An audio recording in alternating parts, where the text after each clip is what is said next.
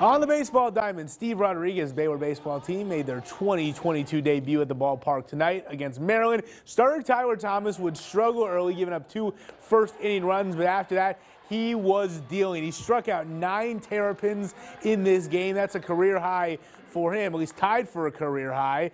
Wouldn't get a whole lot of help from the bats. Jared McKenzie, though, was good as per usual. Here in the fourth, deep shot to the wall, bounces off the bottom. He gets the second with a double. He'd have two hits in his first two at bats, but later in the, the inning, he's still stuck at second. Chase Wehsener deep to center field, but not deep enough.